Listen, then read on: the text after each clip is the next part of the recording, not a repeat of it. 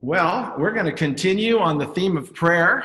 We have Pastor Roy with us this morning, Pastor Roy Hayes, and uh, he's going to share some more insight along the line of prayer. But, Pastor Roy, before we get started, again, I, I know your wife, she went to heaven, Pastor Sandy, in February, and I just want to express personal condolences to you. And I know we all know where she is, but as your ministry partner and your life partner, I'm sure that adds some challenges. So our condolences to you in the season. How are you doing? Doing well, thank you. Uh, she's in a better place. Amen. Amen. Yeah, that that is for sure. And we're here, and you're still fighting the good fight, and going to give us some instruction today on uh, some more on how to do that through prayer. Uh, just looking at your bio sheet, you guys uh, started in ministry in 1986. That was a while ago. And um, yes, yeah, and uh, you started out doing outreach. Just uh, you, you and we were evangelizing hard to reach areas. It said, and then as a, a part or as a result of your evangelism, you began to do some Bible studies on the foundations of Christian living, and and we're part of founders of Christian Living Ministry. Uh, and so uh, that was where was that? What city was that in? Or region? Uh, yes, Tampa. This is where we are right now in Tampa. Okay, very good. And then uh, you started a new church in 1987 and uh, helped there providing uh, or presiding over victory services. Was that part of the outreach ministry and discipleship ministry there? Uh, yes, it was. All right. And then uh, you were ordained with AFCM in 1988. So you got a long history with us, and we've had the privilege of running into each other at some of the conferences and the family reunions, but it's a, it's a privilege to be with you face to face, Pastor Roy. And you're going to share with us about obedience in prayer. Uh, the power, yes. The, the, the need for obedience. I like that. Obedience in prayer. Uh, just as Pastor Marianne was sharing, there's things we know, but I think there's things we neglect or forget, or uh, we might know them up here, but as far as activating them and practicing them. And as Paul said to Timothy, stirring those things up. I think all of us uh, can use the, the reminder and the encouragement. Uh, and so I looked at your prayer outline, man, it, you, you've got some powerful scriptures there. So I'm going to turn it over to you and look forward to what you have to share with us this morning. Amen. Well, I want to say hello to everybody, and it's a pleasure to be able to share the word of God with you today. Um, let's go ahead and get started. Uh, if you have your Bibles, turn in John 16 and verse 23, and we'll start reading there. And I also want to share a little bit about uh, uh, what uh, Pastor Marianne said about the blood of Jesus. It has no shelf life, it is always living. Amen. And we need the blood of Jesus. Amen. So this is John 16 and verse 23. And in that day you will ask me nothing. Most assuredly, I say to you, whatever you ask the Father in my name, he will give you. Until now, you have asked nothing in my name. Ask, and you will receive that your joy may be full. To connect with you uh, today, I'm going to ask a series of questions that I really want you to uh, consider to think about. Do you really know the purpose of prayer? Are you satisfied with your prayer life? Do you think prayer is high on God's list of the things He's asked us to do? Is prayer just another religious tradition to you, or are you just going through the motions? Is prayer for you a lifestyle or is it an event? Why is prayer a big deal with God? How effective is your prayer life? Why do we pray when God knows what we need before we pray? That's a good place to start. Well, you see that God has a unconditional will and he also has a conditional will. God's unconditional will is when he determines what will happen, irrespective of what man does here on this earth. The conditional will is where he's decided not to do anything without the cooperation of a man who is a spirit that lives in a body on the earth. And he does that through the mechanism of prayer. What we have to understand is that God cannot legally do anything here on this earth unless a man or human prays. And why is that? Uh, let's look at Psalms 115 and verse 16. And I'm reading from the New King James Version. The heaven, even the heavens, are the Lord's, but the earth he has given to the children of men. Now let's look at Genesis chapter 1 and verse 26. Then God said, Let us make man in our image according to our likeness. Let them have dominion. Remember, when God speaks, his word becomes law. If you notice, he did not say, let us have dominion or control. He said, let them have dominion, or you can say control. And God cannot violate his word. Let's look at Psalms 89 and verse 34. And it reads, My covenant I will not break nor alter the word that has gone out of my lips once I have sworn by my holiness. So, God is spirit without a body. For God to intervene into the earth, he needs a body. When God wanted to redeem mankind, he had to prepare himself a body to work through. And we understand that body was Jesus Christ. Jesus was Emmanuel, God with us. So now we know that Jesus is no longer walking the earth, he's at the right hand of God. So God still needs a body. And that body is the church. This is this is us. We are the body that God uses that he can channel his power through.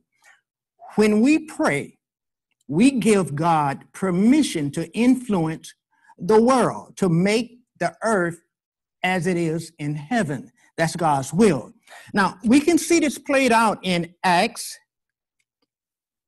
chapter 12, starting at verse 1. And, and let's, let's read that together.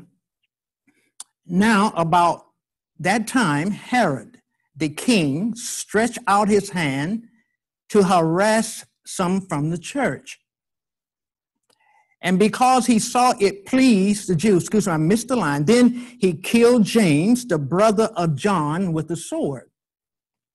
And because it so it pleased the Jews, he proceeded further to seize Peter also.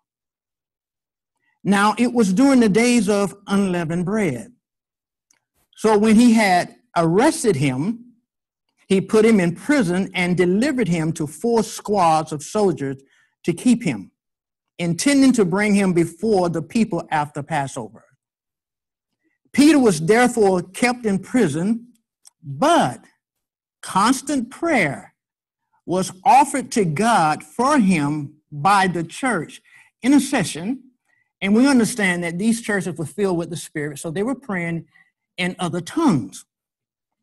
And when Herod was about to bring him out, that night Peter was sleeping bound with two chains between two soldiers. And the guests before the door, excuse me, the guards before the door were keeping the prison. Now behold, an angel of the Lord stood by him, and a light shone in the prison. And he struck Peter on the side and raised him up, saying, Arise quickly. And his chains fell off his hands, supernatural. Then the angel said to him, Gird yourself and tie on your sandals. And so he did. And he said to him, Put on your garment and follow me. So he went out and followed him and did not know that what was done by the angel was real, but thought he was seeing a vision. When they were past the first and the second guard posts, they came to the iron gate that leads to the city, which opened to them of its own accord. And they went out and went down one street, and immediately the angel departed from him. And when Peter had come to himself, he said, Now I know for certain that the Lord has sent his angel and has delivered me from the hand of Herod and from all the expectation of the Jews. So God was able to change Peter's situation because the church prayed, the body of Christ prayed, and God was able to hear from heaven and dispatched an angel to deliver Peter. So we give God access to the world and the situations in the world through our prayers. So now I have some more questions I want to share with you that I want you to consider. Have you ever prayed a selfish prayer? I think we all have at some time. Do you spend a lot of time praying for yourself, for your church, or for your ministry because you don't think nobody else will? Well, God wants to change that kind of a thinking. Let's look at James chapter 4 and verse 1.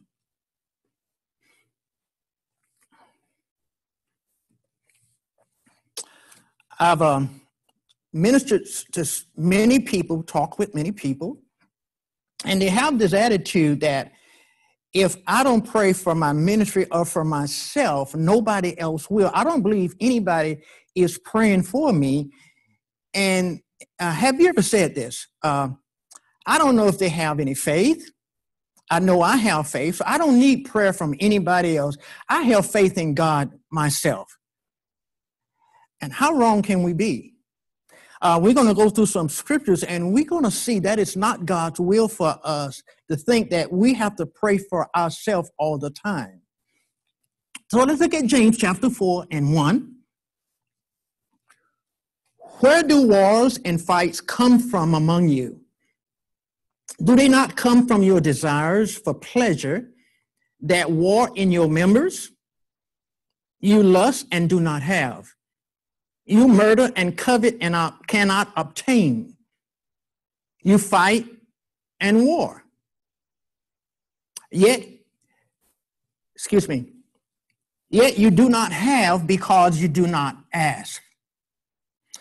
Verse 3 You ask and do not receive because you ask amiss, that you may spend it on your pleasures. The Amplified said, because you have selfish motives. The Phillips translation said, You only want to satisfy your own desires. Got another question for you to think about. Do you have the attitude that every man is for himself when you pray? You know, I'm going to take care of number one first. I'll pray for myself, and the others can pray for themselves. Now, is that the attitude that we should have? Every man for himself attitude. Well, let's see what the scriptures has to say about that.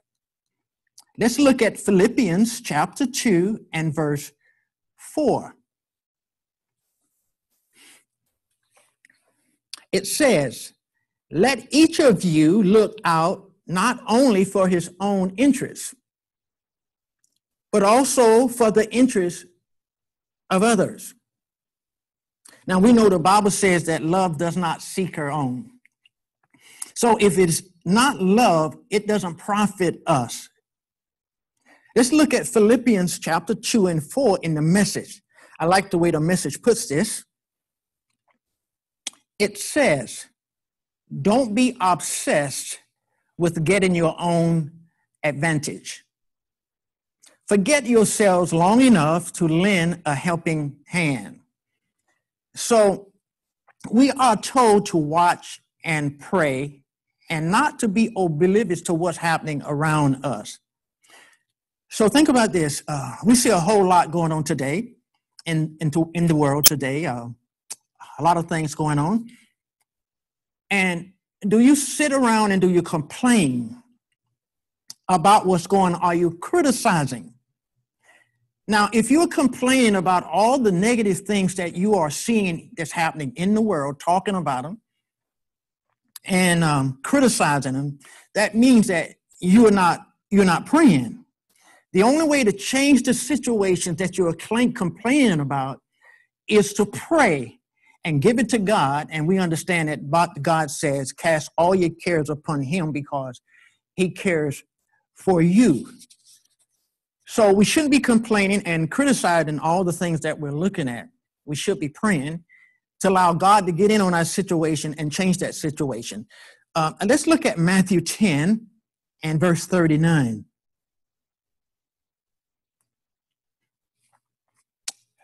So we're talking about obedience in, in prayer. He who finds his life will lose it. And he who loses his life for my sake will find it. Now I'm going to read that from the message. If your first concern is to look after yourself, you'll never find yourself. But if you forget about yourself and look to me, you will find both yourself and me. So God is changing the way we think about prayer today. Let's look at Matthew 7 and verse 12. And let's read that in the message version. And it says, Here is a simple rule of thumb guide for behavior. Ask yourself what you want people to do for you, then grab the initiative and do it for them. And another question for you do you know why it is more blessed to give than to receive? Well, you're actually investing in your future. We understand that what you sow, you're going to reap. Sow prayers, get prayers. When you need prayer the most, God will handpick someone of faith just to pray for you because you've done all the above You've done your due diligence by praying for other people and not just praying all the prayers on yourself, but you're giving yourself to praying for the things that you're seeing every day so you can allow God to get in those situations and change those situations. So you're sowing those kind of seeds. So when that time comes, when you really need prayer, and let's just face it, sometimes we're just not with it. Uh, we're dealing with things on a daily basis and actually, our faith is not as high as we would like for it to be. And we need some help. Well, God has a foolproof plan here. If you do it for others, He'll make sure He'll do it for you. So, think about this. If you spend a, a whole lot of time praying for you, now I want you to think about this now. Because normally, if you're praying for you a whole lot, normally you're praying the same prayers over and over and over again. So if you're doing that, I want you to, to think about this scripture here, First John 5, chapter 5, and verse 14. This is the confidence that I have in him. If I ask anything according to his will, he hears us. And if we know that he hears us, we know we have the petition that we have desired from us. Uh, when we find ourselves praying the same prayers over and over and over again, we're saying that we don't believe God heard our prayer.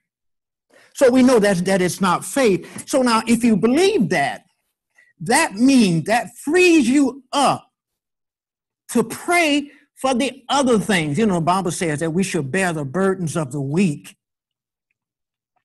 And there are people, we know, we see things in your church, you see people, you see things in your city or whatever.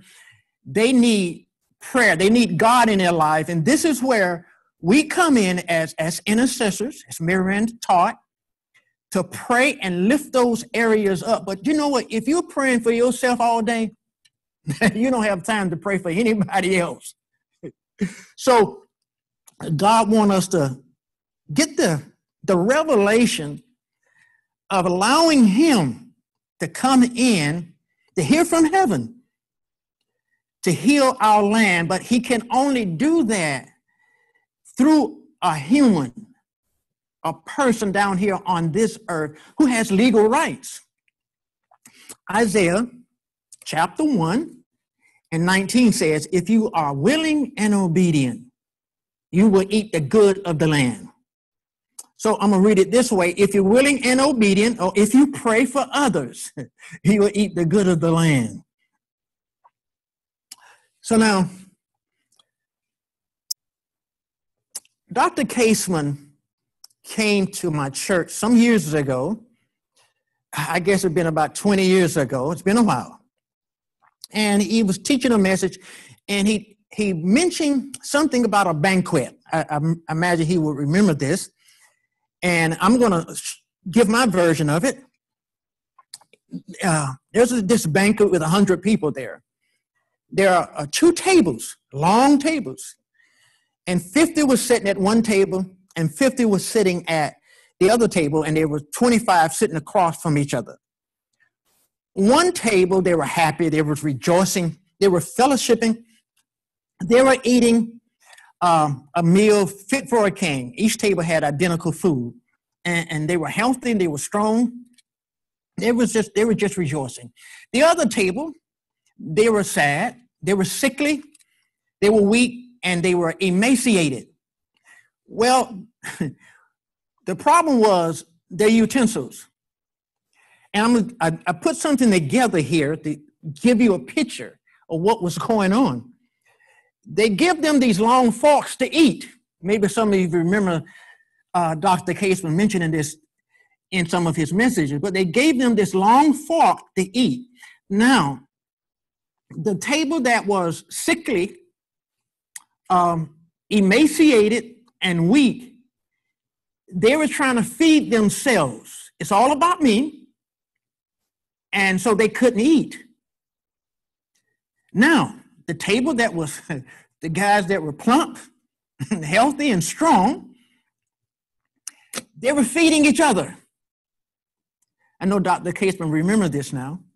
And by them feeding each other, they supported one another. And actually, this is how the body has been put together where we support one another. So, in other words, God says, What good you do for others, He'll make sure He'll do for you. If you pray for other people, like I said, you want to spend a whole lot of time on your prayers if you're believing and standing in faith. But when that time comes, when you really need someone, I'm talking about someone in faith, someone that knows the word of God. How many of you know that God knows that person? out there that he can handpick that person just for you because he stands by his word to perform it. And you can have confidence that when you're going through something that you don't have to fear. You can have confidence that God has somebody praying for me. Somebody's praying in tongues, and I'm getting my answer in this situation that I'm in. That's awesome, church. Amen. Okay, now I want to touch on something else. First Thessalonians chapter 5 and verse 17. I normally walk around and preach. Um, I don't normally sit still, but I'm trying to contain myself today. This is First Thessalonians chapter 5, verse 17. It says, Pray without ceasing, in everything give thanks, for this is the will of God in Christ for you. So we know that to pray without ceasing is the will of God. So now, this question here is it possible to pray without ceasing? Well, if it's said for us to do that, I really believe it is. There's different forms of prayer. Pastor Miriam mentioned one, uh, praying in tongues intercession. And there is the petition prayer where we normally pray. This is prayer that is prayed more than anything. I want this, I want this, I need this. Please, God, give me this. This is that petition prayer. But also, meditation is prayer also. So I want you to think about this. Meditation is just thinking about the Word of God and the goodness of God. So now you know you're thinking all the time anyway. I mean, I mean, you can't stop thinking. So you're thinking without ceasing. So just start thinking about how good God is, thinking about His Word. That's a form of prayer. So you are praying without ceasing. Then you, you have your Thanksgiving. That's another form of prayer. I mean, you know, wake up in the morning, you thank God that you woke up, you're healthy, you're sound, and, and healthy family, you got a job, and you you uh, you're happy, and and you live in a, a, a beautiful country, and you're happy that you live in America. It's just so much to think about thank God about. So you could thank God every day. You have a job. Um, prayer, praise. Uh, you can praise God all the time for His goodness. Worship for who He is to you. He's your refuge. He's, he's your fortress. He's your strong tower. He's your healer and deliverer. And then just speaking the word is praying. Just think, think about this. Every time you say, you pray. And sometimes some of you talk too much. so you can talk, speaking the word consistently during the day, you're praying without ceasing. So I just want to just cover that because I know so many people, you know, they read that scripture praying without ceasing. How can I do that? And of course, praying in tongues. Uh, you're praying in the spirit, you're not praying in your own language. So just wanted to cover that. So I want to ask you a question. We understand, uh, well, actually, I'm going to make a statement. Only the prayer of faith changes things. I think we all can agree on that. So now I have some more questions I want to ask you, and I want you to consider. Have you ever prayed and did not believe that you had faith to get the answer? I know that sounds strange to ask a question like that. But there are many people praying and they don't believe that it's just a religious thing for them. They don't believe they're going to get an answer because they prayed so many prayers before and nothing happened. Well, the problem wasn't on God's end. So people are praying every day. I'm talking about Christians now. And actually, they don't believe that they're going to get an answer, but they're doing something. Do you feel that your faith is too little? Little faith. Do you think you need to ask God to increase your faith? That can be a little controversial. Are you always on a quest for more faith? So I want to clear up some things about faith because it is the prayer of faith that changes things. Okay, so now listen to this. It is impossible to be a Christian without faith. Just like water come, comes with wet, Christian come with faith. So if you don't have wet, you don't have water. If you don't have faith, you're not a Christian. To get faith, you have to be born again. So if you're born again, you have the faith of Jesus. Uh, Romans 12 and 3, If you're familiar with the scripture, says that God has dealt to every man the measure of faith. So when you got born again, God blesses you with his faith. It is a gift. So this faith will always be in your born again spirit. Galatians 2:20, and I'm quoting from the uh, the King James version. It says, "I am crucified with Christ. Nevertheless, I live. Yet not I, but Christ liveth in me. And the life I now live in this flesh, I live by the faith of the Son of God who loved me and gave himself for me. So, who faith it is? It is not your faith, it is the faith of Jesus that you are living by that is on the inside of your born again spirit. First John 5 4. Uh, let's read that. For whatever is born of God overcomes the world. And this is the victory that overcome the world, our faith. Who is he who overcomes the world but he who believes that Jesus is the Son of God? So, whatever is in the world that comes against you, that steals, that kills, and destroy, your faith in Jesus has made you an overcomer. The coronavirus, you've already overcome that because of the faith that is on the inside of you. All sickness and disease, you've overcome. Social injustice, you've overcome. You've overcome racism.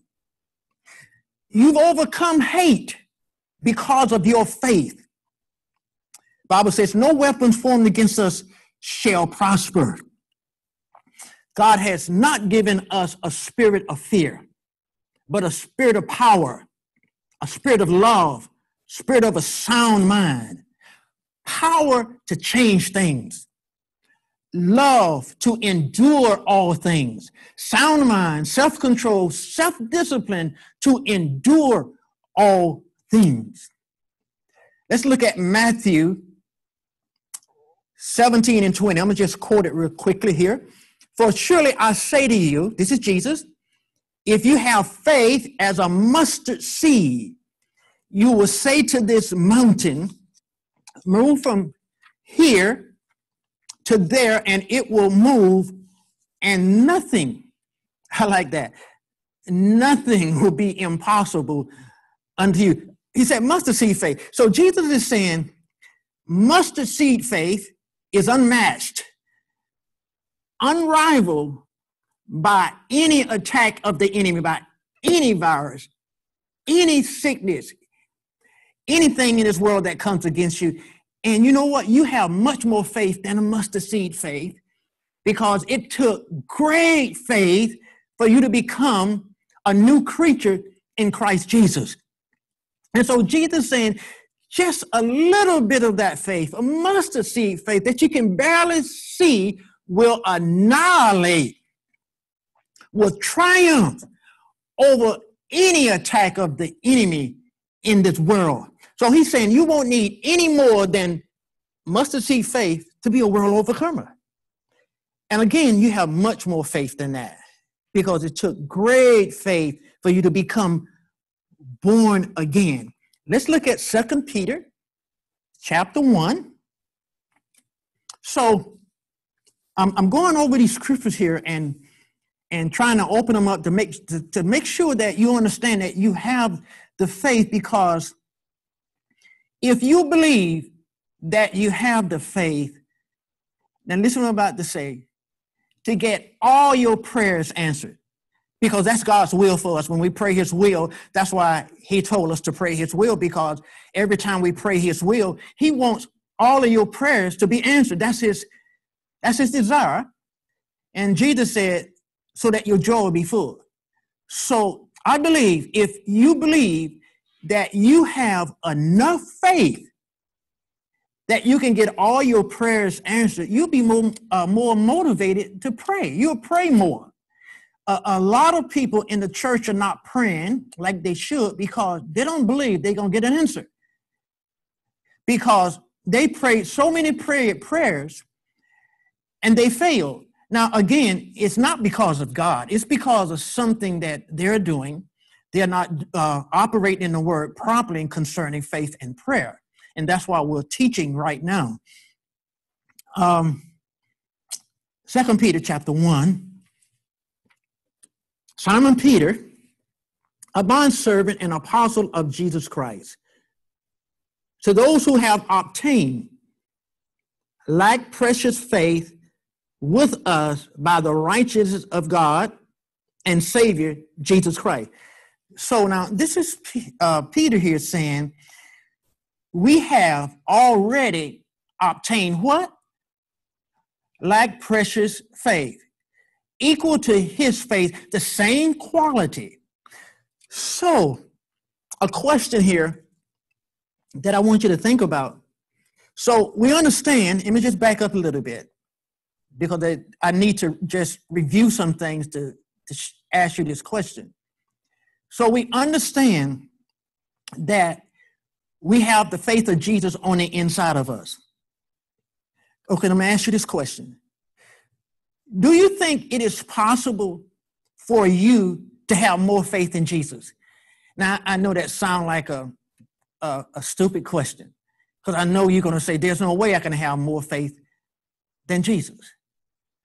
Now, we just, I just quoted a scripture in Galatians 2.20 that we do have the faith of Jesus. So I'm going to ask you this question. Why would you ask God to increase your faith? Now, if you're asking God to increase your faith, think about what I'm about to say here now.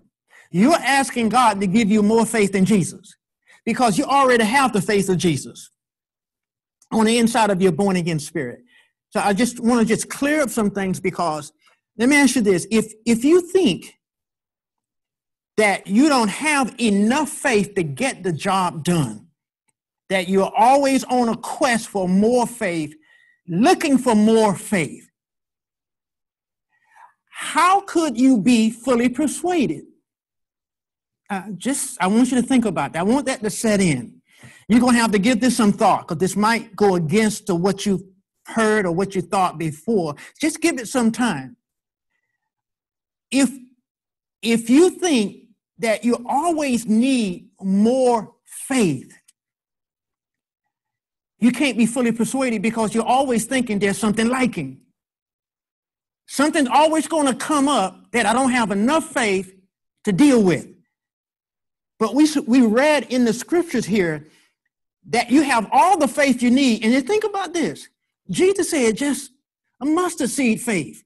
Nothing will be impossible for you. Nothing. Just a little bit of faith. And if you're a Christian, you know you have that, but that's not the truth. You have more than that. You have the faith of Jesus. And that faith is limitless. So I know I'm pounding that point over and over again because I want you to think Think about this. So Peter is saying we have already obtained this kind of kind of faith.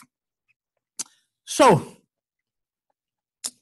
again, as I get ready and close, Jesus is saying that when you ask the Father in his name, he's going to give you what you ask for so that your joy may be full.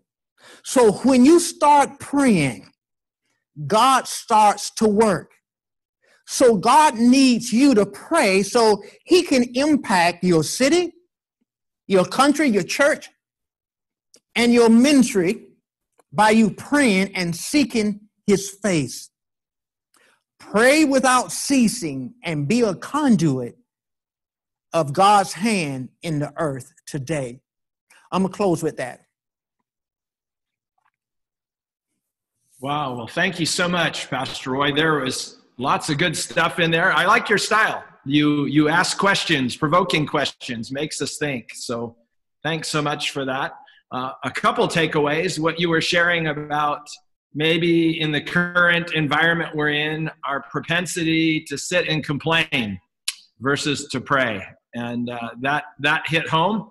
I uh, I can see that, and sometimes in our church, the kind of the murmuring about things instead of taking those things to the Lord. So thanks so much for the reminder about that. And the other one I really liked is the fork, the uh, about feeding each other. That our prayer uh, and you know not just being concerned, Lord, me, me, me, me, but serving each other in prayer. That was that was excellent, and praying the prayer of faith.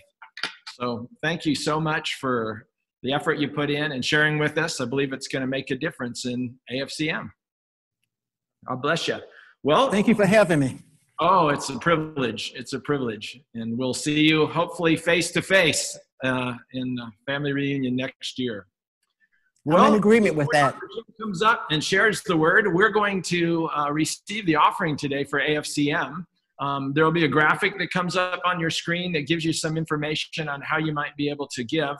Uh, it was uh, probably uh, six weeks ago or now or so that uh, Dr. Jim, he, he got us all together, uh, the regional directors. We did it via, I think it was a Zoom call.